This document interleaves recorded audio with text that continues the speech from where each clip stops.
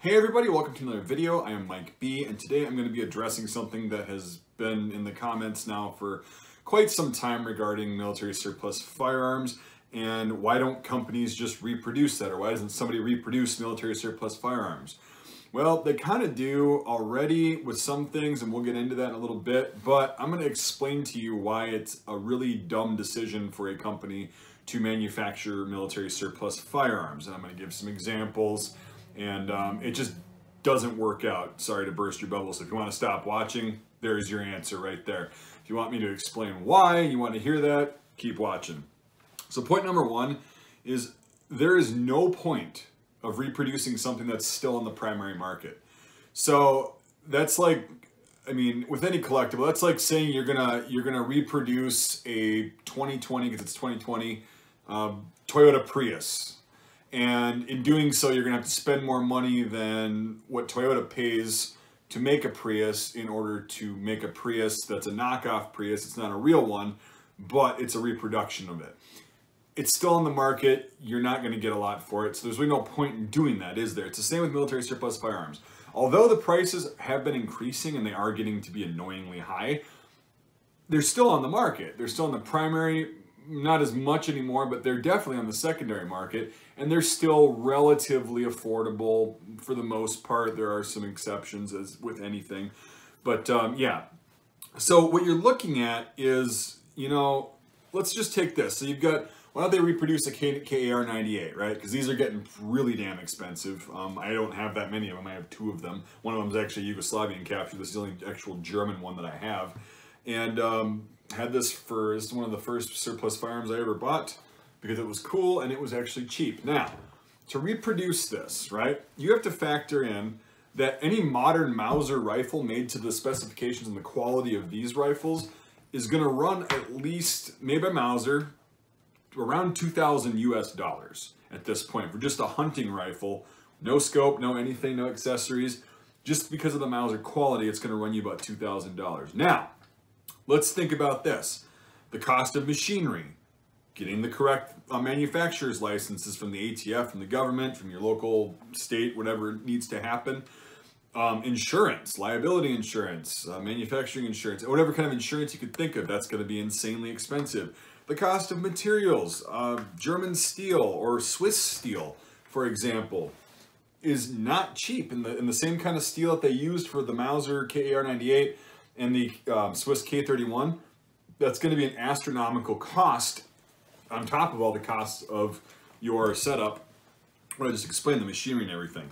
So we're looking at, you know, for, I think, Iraq veteran 888, a couple years ago did like a, a kind of a number crunching of the specific rifle, the K31, and what it would cost to manufacture this today.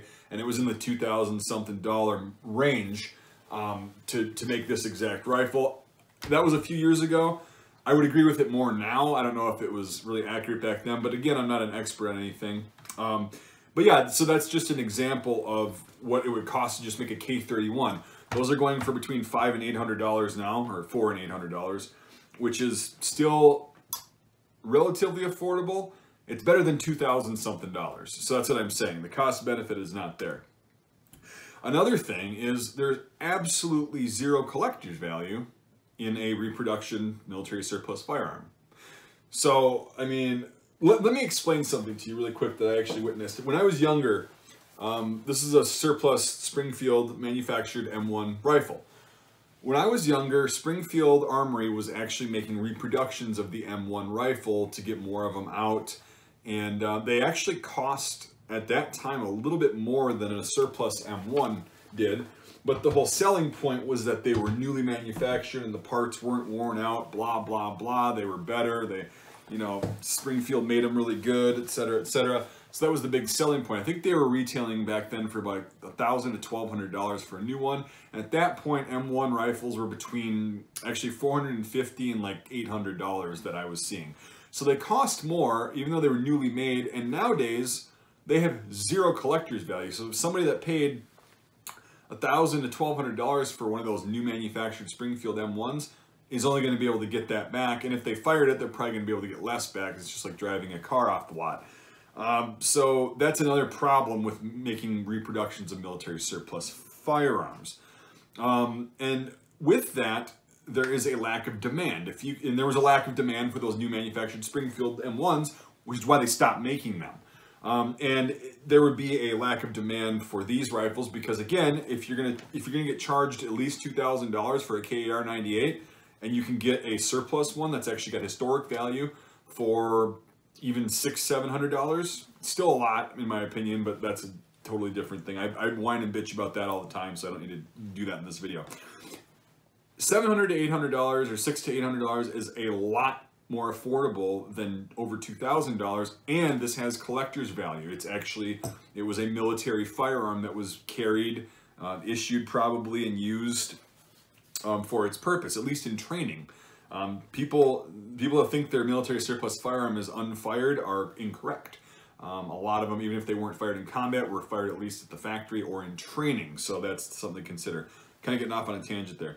So the price would be absolutely asinine for a reproduction um, just to actually get one. It would be so much more. So if you think a $350 to $400, which people are stupidly paying for a Mosin Nagant 9130 is a lot, well, if you had to manufacture this, get all the tooling and everything set up, the company would have to sell one of these rifles for at least a $1,000 to make it worth it. And the demand just simply wouldn't be there because nobody would buy them. The company would go bankrupt more than likely or something bad like that and it would just be a complete flop. Now, it does make sense. Come on, baby, just stand up. Just stand up. Work with me here. Work with me. It does make sense for certain one certain military surplus rifles that are being reproduced currently, such as the Sturmgewehr 44, the um, FG 42, and then there's there's a couple others that are being reproduced. Um, some of them are built off original parts kits. Some of them are actually just straight up reproduced. But I, yeah, the SMG FG42 is completely reproduced, and so is the, um, I forgot the name of the company, the, the STG44. Here's the thing though. To buy an original Sturmgewehr or a, a FG42, you're going to have to fork out for an MP44 or Sturmgewehr 44, you're going to have to fork out for one of those at least $25,000 for one in okay shape to get a class 3 one, an original one. Um, for an FG42, you're gonna have to fork out 75 to 100 grand, depending on the model and all that stuff and the condition. So it does make sense for a company to reproduce the FG42 and sell it for $5,000, which is an absolute fraction of the cost of a real one and the rarity. The other thing is, there's tons of these things floating around. Even though they're getting more expensive, there's millions of surplus firearms floating around the United States. So that's another thing that kind of, you know, the demand won't be there. They're still here. The cost benefit analysis just isn't good. So those are the main reasons why it would be really stupid and why more companies are not reproducing military surplus firearms. And it is what it is, guys. So uh, a lot of these comments are coming from younger people, and no offense to you guys, I was just there a few years ago. You may not have a real good grasp on uh, how much money or how, how expensive things are and how much money it takes to actually do something like this.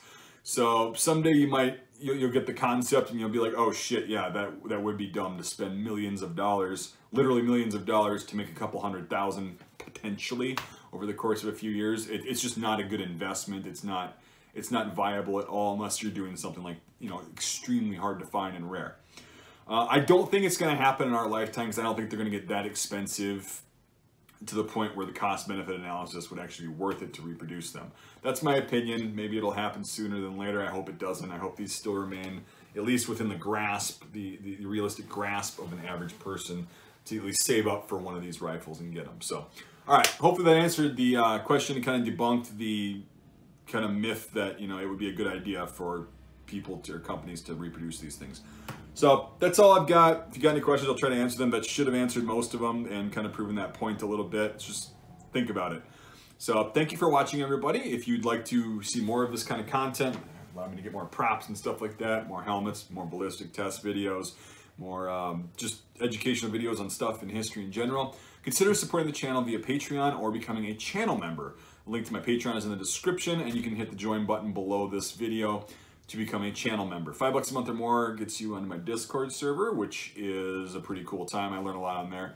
A lot of cool information is exchanged, and we have a good time on there. That's one perk, and the, the biggest perk is, like I just said, helping me be able to expand the content Uh, I can fund this channel out of pocket to an extent, but this year's been great, especially for allowing me to expand the content and what I make videos on and using actual historical items to kind of drive a point home. So that really does help. If you can't support the channel financially, I totally get that. That's totally fine. I understand. Um, just make sure you give this video a thumbs up, uh, subscribe if you haven't already, and share these videos out. Um, sharing videos really does help. Then I get more subscribers, and I get more people that are you know interested in this stuff and kind of learning from me um, about historical topics, firearms, and stuff like that. So that really helps too. That's a great way to show support. So thank you for watching, everybody, and we'll see you on the next video.